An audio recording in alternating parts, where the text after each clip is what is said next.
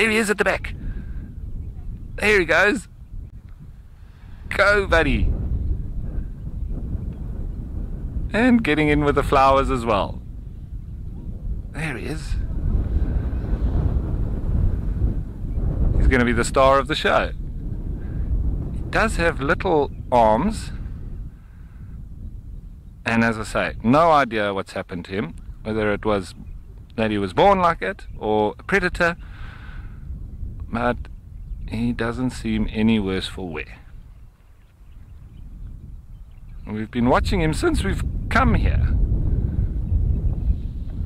Just literally part of the group.